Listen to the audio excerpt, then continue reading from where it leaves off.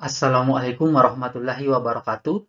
Perubahan lambat, evolusi, dan perubahan cepat, revolusi.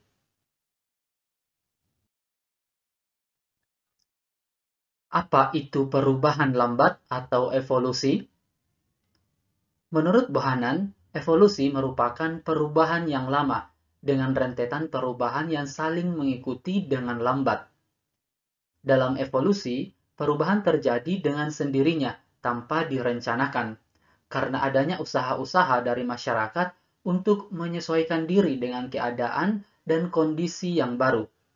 Evolusi terjadi dari rentetan perubahan kecil, sehingga kita sering tidak merasakannya. Contohnya, dari masyarakat tradisional menjadi masyarakat modern. Teori evolusi terbagi menjadi tiga.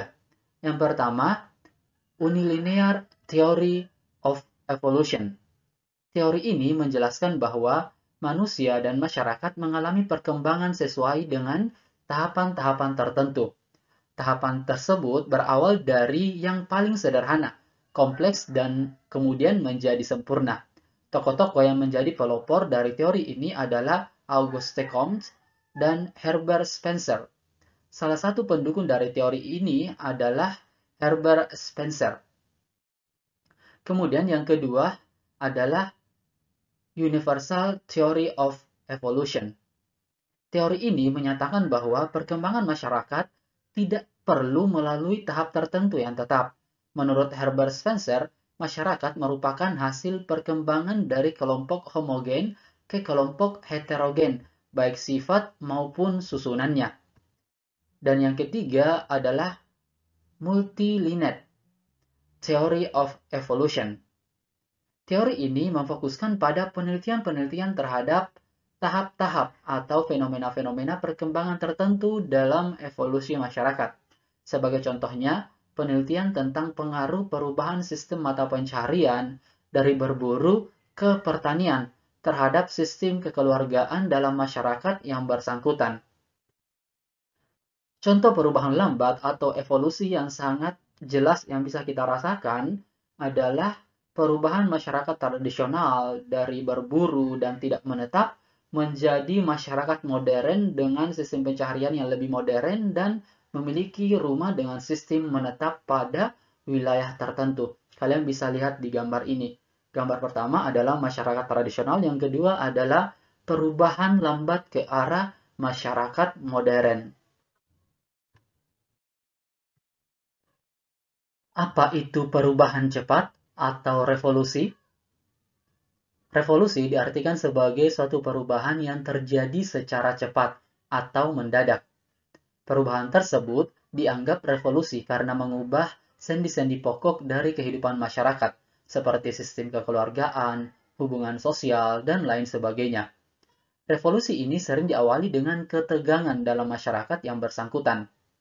Secara sosiologi, agar revolusi dapat terjadi harus memenuhi beberapa syarat. Di antaranya adalah yang pertama, harus adanya keinginan untuk mengadakan suatu perubahan. Yang kedua, adanya seorang pemimpin yang dapat memimpin dalam masyarakat. Yang ketiga, adanya pemimpin yang dapat menampung keinginan masyarakat agar terjadi pergerakan menuju perubahan. Yang keempat, seorang pemimpin harus menunjukkan suatu tujuan pada masyarakat. Yang kelima, adanya momentum untuk memulai suatu gerakan. Revolusi merupakan perubahan yang terjadi secara cepat serta tidak direncanakan.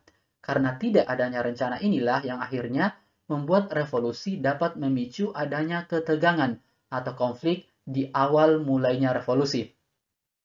Contohnya adalah revolusi industri yang terjadi pada periode antara tahun 1760 sampai 1850 di mana terjadi perubahan secara besar-besaran di bidang pertanian, manufaktur, pertambangan, transportasi, dan teknologi, serta memiliki dampak yang mendalam terhadap kondisi sosial ekonomi dan budaya di dunia.